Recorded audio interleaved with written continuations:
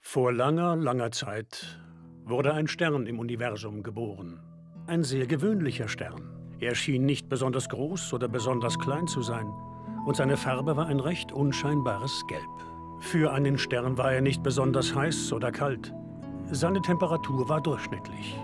Und auch sonst war er in jeder Hinsicht ein recht durchschnittlicher und gewöhnlicher Stern. Tja, eben doch recht gewöhnlich und nicht mal besonders hell. Du bist ein gelber Stern. Das bedeutet zwar, dass du heißer bist als ich, aber du bist trotzdem nur Durchschnitt. Du bist ziemlich gewöhnlich.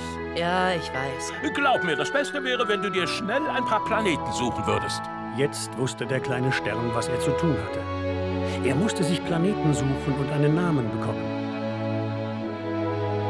Man muss ein außergewöhnlicher Stern sein, um einen Planeten Waben, auf dem es Leben gibt. Und durch deine durchschnittlichen Eigenschaften bist du schon wieder etwas Besonderes.